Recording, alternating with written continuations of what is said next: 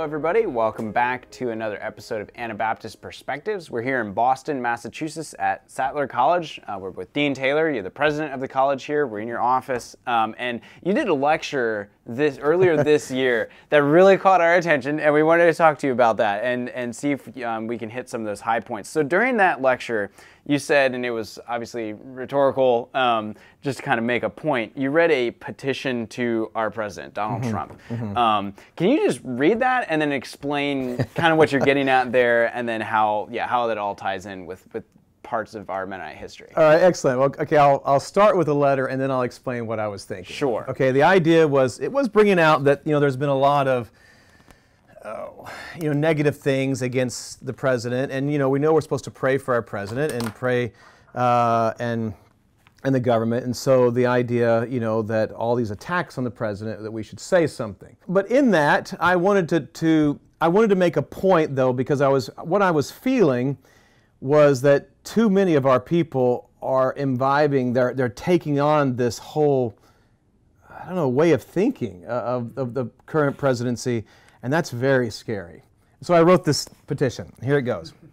To the President Donald Trump, we, the Conference of Anabaptists assembled today in Shipshewana, in the free state of Indiana, feels deep gratitude for the powerful revival that God has given our nations through your energy and promises joyful cooperation in the upbuilding of our fatherland through the power of the gospel, faithful to the motto of our forefathers no other foundation can anyone lay than that which is laid, which is Jesus Christ. With greatest excitement, we are following the events of our beloved country and experience in spirit the national revolution of the American people. We are happy that in America, after a long time, a government that freely and openly professes God as creator stands at the head of the nation.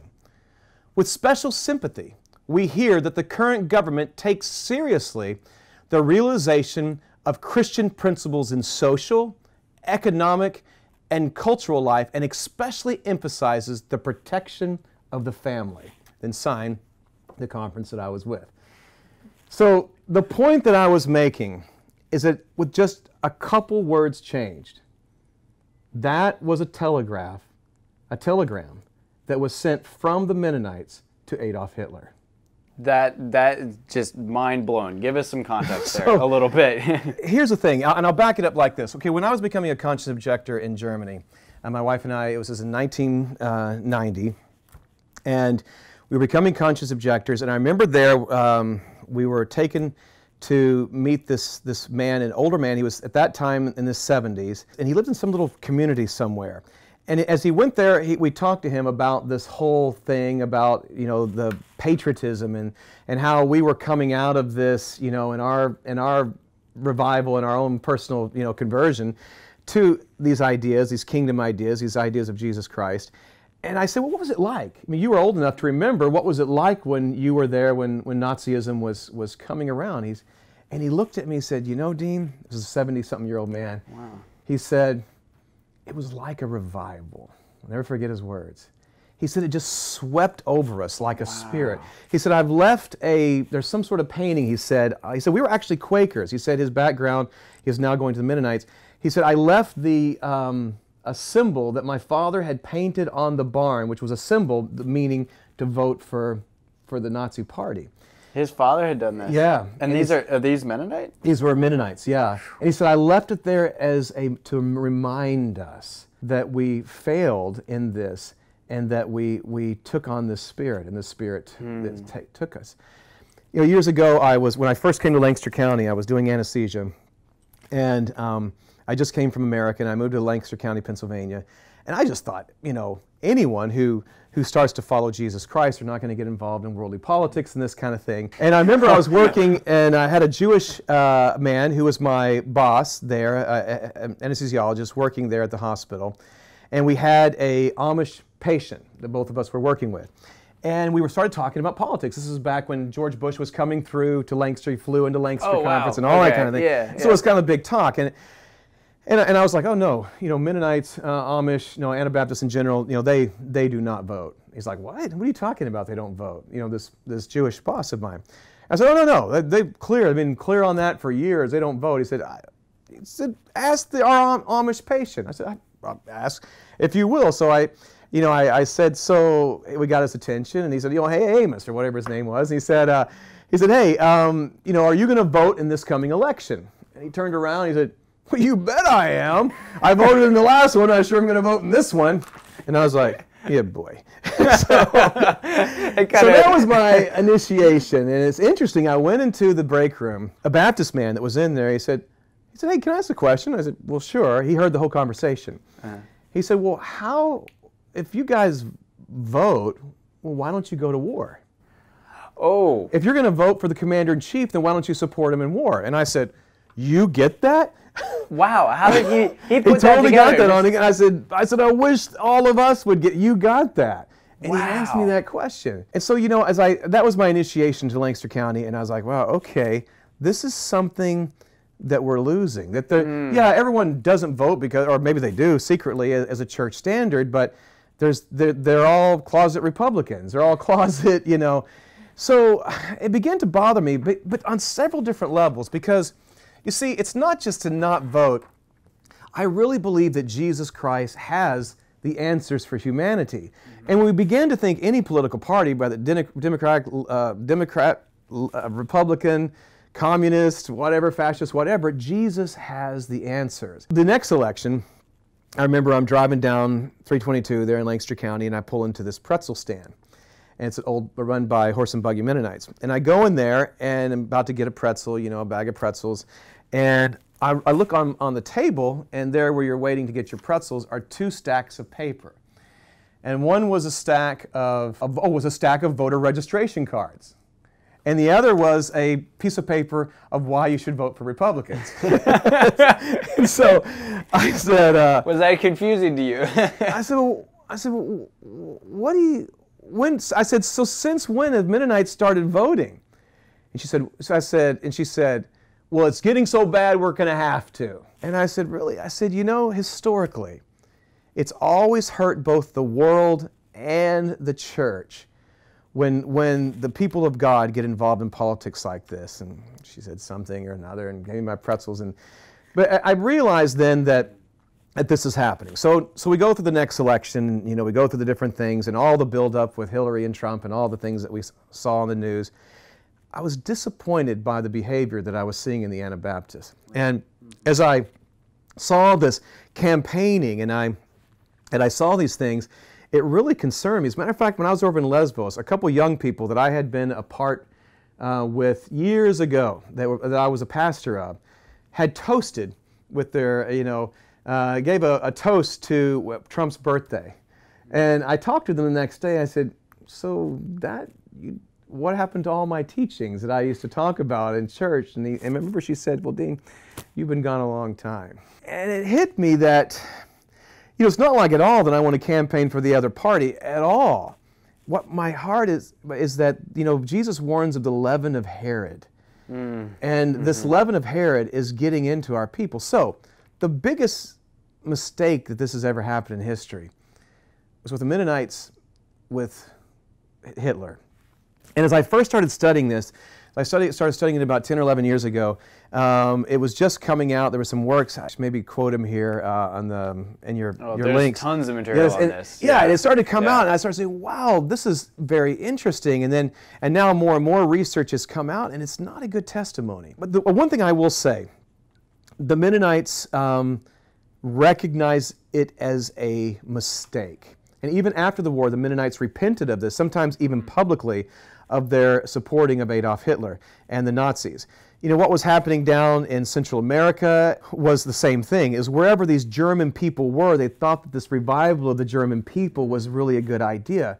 And, they, and but the, the obvious excuse is this, well, we didn't know we didn't know what happened. Well, yeah, like that's what I heard from some of the people yeah, I interviewed when we, I was. We didn't know they yeah, were killing Jews, and we didn't know. And like literally, some of them did not know until the 1950s. Exactly, but know? that's yeah. just the point. Hmm. That's just the point that by not by getting our principles off mm-hmm. and trying to look to American politics to or politics in general to fix our problem, we'll end up giving our support to an antichrist and not even know it.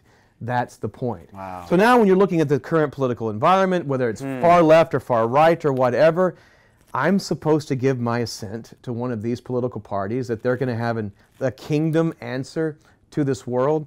I can't do it. And so I, I wrote that letter as sort of a thought. You know, we could easily have said this today, and some of the people that were in that audience um, would have said that and even signed that petition to be sent out. And it's a wake up call to say, guys, this is bad leaven.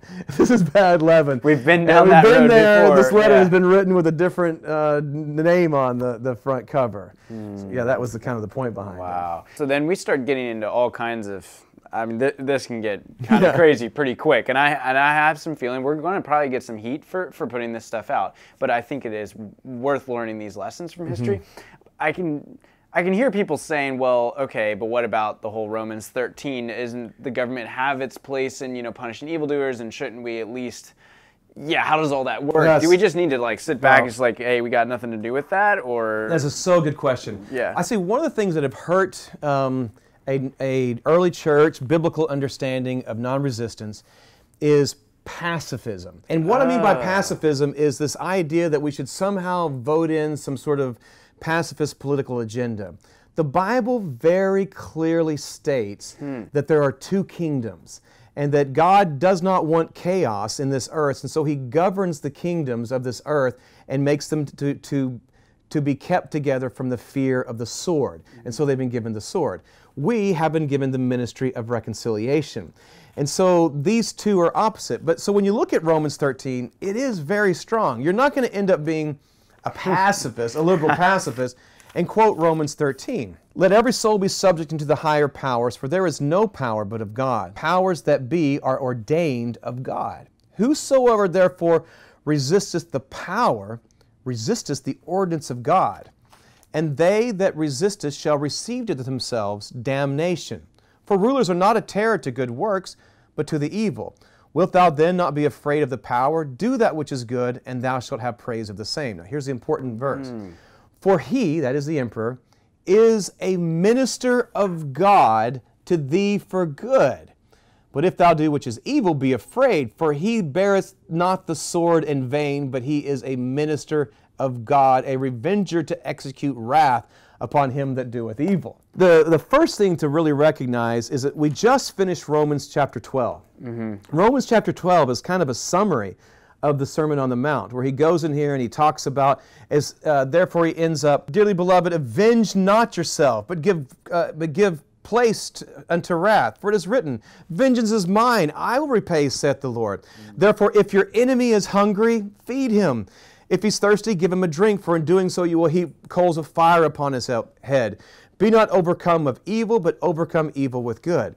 Hmm. Now, in this two kingdom idea, this whole idea of this new way of Jesus Christ, this new kingdom of Jesus, then what do you do with the politics of this earth? I mean, there's, it was a, a natural question. And so he brings out this view that God has ordained the world to be kept in check, those who are not of God, who are not being led by the love of God and the grace of God, to be kept by the fear of the sword. Now it's interesting. Who was he talking about? He wasn't talking about an Episcopalian from Texas or a Baptist from, from Tennessee or where this current one is. He's talking about Nero, one of the most wicked people who ever was it came against the church, who literally lit fires up and down the road of burning Christians, who came against the church. They, the early church called him the very Antichrist. Hmm. But he's ordained of God to do this job. And the question is this just because something is ordained of God, does it mean God's favor is on them? Is God blessed on it? Well, let's look at a couple examples. So Pilate said to Jesus, Do you realize that I have the authority to either let you go or I have the authority to, you know, punish you? It's, it's interesting. Jesus did not rebuke him and say, You don't have any authority. He said, You have no authority but that which has been given to you by my Father. Hmm. He recognized that, that Pilate had, given, had been given the authority to kill Christ. Does not make this role a blessed role. It just makes it a role that God has ordained to have to do his service on this earth. And let me take it a little bit further. So he says here, He is my minister. So the question is, where is that context? It's interesting when we look in um, Jeremiah. Um, in Jeremiah, we have an interesting example of Nebuchadnezzar. Now, Nebuchadnezzar was put in power by God, and God makes that very clear. And he wants people to, to serve um, Nebuchadnezzar, but then later he uses Nebuchadnezzar even to bring judgment upon Judah. He uses Nebuchadnezzar, and look at the language he uses to talk about Nebuchadnezzar. This is found in Jeremiah chapter 25, verse 8. Therefore, thus saith the Lord of hosts, because you have not heard my voice, because you have not heard my words, behold, I will send and take all the families of the north, saith the Lord, and Nebuchadnezzar, the king of Babylon, my servant. Same word, my minister. And will bring them against this land and against the inhabitants thereof and against these nations and brings judgment against, against Judah. Hmm. Now here's a question Is he blessing him or is he just using him for his service? Is this a blessed state because he calls him my minister? Or is, is it a different thing? It's interesting. The context tells us. It's a mm-hmm. few verses mm-hmm. later. And it shall come to pass, as in verse 12, when the 70 years are accomplished, that I will punish the king of Babylon and that nation, saith the Lord, for their iniquity and the land of the Chaldeans, and will make it a perpetual desolation. And so he's using him for a clear purpose. Let me give you one more without, I hope we're not going too long. Let me give you yeah, one more sure, that I sure. think is, is very important for us to understand. It's in the prophet Isaiah. Okay, so here's the question that, that um, Isaiah 10 answers. So, Dean, are you saying then that you could never see that God has intervened in war? I mean, when you look at how Hitler was stopped, or Stalin was stopped, or this bomb ended this, I mean, surely you can get the idea that, that God was behind this. I mean, here even in Boston, there's stories of the Revolutionary War that you know you can see weather. Bunker Hill yeah, is Bunker- right there. exactly, I mean, exactly. you know, uh, Paul Morris- Revere right over there. Yeah, you see those things. You say, Yeah. surely this made a difference. Yeah. And and and Isaiah 10 is a very interesting um, one to look at. So this time it's the Assyrians being the ministers of God. This time he calls him his rod, his particular use, his use. And he says, O Assyrian, the rod of mine anger, that you're his staff, and the staff in their hand is my indignation. I will send him against a hypocr- hypocritical nation and against the people of my wrath, and I will give a charge to take the spoil and to take the prey and to tread them down like the mire of the streets. So he's bringing them again to judge his own people. Mm. But pay attention to the next verse. However, he meaneth not so. He doesn't know what he's doing. Neither does his heart think so. But in his heart is to destroy and to cut off nations but a few. And so he's saying, I'm going to use the Assyrians. They're going to accomplish this purpose for me, but they don't even know what they're doing. In their mind, they're just taking over nations and taking over countries. But I have a sovereign reason why I'm using him. Mm-hmm. But just because God uses you, does that mean you're blessed? No. Therefore, it shall come to pass that when the Lord has performed his whole work upon Mount Zion and on Jerusalem, I will punish the fruit of the stout heart of the king of Assyria and the glory of his high looks. For he saith, By the strength of my hands have I done it, and by my wisdom, for I am prudent, and I have removed the bounds of the people, and have robbed their treasures, and I have put down, he's done all these terrible things. He makes it clear in his principle, Romans 13 principle God rules the earth. And he has two kingdoms those who have been given the, the, the, the ministry of reconciliation and grace from God, and those who have been given the sword. And we want uh, to make sure that clear, that understanding of two kingdoms is there. Where Anabaptists today, when they don't understand this, you hear them saying things that I, I, I wonder, do you even understand non-resistance? Do you even understand the 2 kingdoms when we would give our support to these, these different kingdoms and different politics? And and so I think if I'm understanding you right, so in the case of say Roman thir- Romans 13, Paul doesn't say y'all all need to rebel and, and burn this down until we can put a Christian emperor. Yeah, he doesn't say that. Yeah, and we should actually pray for them. We should actually support them. We should um, do what we can to bless them. Um, but clearly, our kingdom is not of this world. Jesus said, If my kingdom were of this world, well, then my servants would fight. But now, my kingdom is not from here. Jesus, when they would use the term Jesus is Lord, It was a political statement. I've been to Ephesus. I've been to Ephesus, True. and still on the wall you can read it. It's it's, it's right there in Latin. It's, and it almost looks like English, where it's, it talks about um, Caesar being Lord, and and you can see this. And so when they said Jesus is Lord, they meant it. It's not just some spiritual language. It should be the same for the kingdom of God. King Jesus. King Jesus. So, so we're looking at the misguided allegiance where we're saying, okay, we're going to side with whatever political party, or we're going to get involved with certain countries, you know, policies. So that's kind of the negative. Pull out the positive. What's the positive side of this vision? What is our place as Christians where we can help with societal issues and Ah, good. turmoil and things? What should we be doing instead of maybe voting? In your opinion? Yeah, this this is an excellent point. You know, if all we're doing is setting on our farms and setting in America and enjoying people going over to Iraq and getting us, uh, killing people to get us, or whatever, doing uh, different military things to get us low oil prices and helping our capitalistic society. If all we're doing is setting and enjoying those things and do nothing, then it's not right. It's not right. Those people are risking their lives for those things. What are we doing? And so you're right on. Um, I was just reading today, John Howard Yoder has a great uh, statement on this idea of nonviolence and non-resistance. And he said it's a funny word. He said, imagine if we were to define marriage with nothing but negative terms. In other words, if we called marriage non-adultery. he said, so he said it should have a positive and active force to it. And that's exactly what the kingdom should be. Here at Sattler College, we're even doing a thing called restorative justice programs where we're wanting to go to the place of danger, to the place of conflict, and give a Jesus example. You had Pablo Yoder, and we had him up here um, Wow. uh, recently, and there's a man, a hero, who has has been there and lived this restorative justice, living the places where conflict happened. We need to be more and more in that. We're also doing things where we're getting involved with human trafficking and such. So, so finding that is absolutely needed, and being and being the change and making the difference. Instead of trying to vote things, we should exist as the kingdom of God with a prophetic voice to be able to speak to this and to make a, um, uh, a difference. Tony Campolo tells a, uh, an interesting story. And I was uh, when I was in Greece, uh, we had to leave for a while and go to um, uh, uh, Bulgaria, and I was in Sofia, Bulgaria. And as we were there, um, there's this interesting, incredible story that happened there in Sofia, Bulgaria. And this is a perfect example of what you're talking about.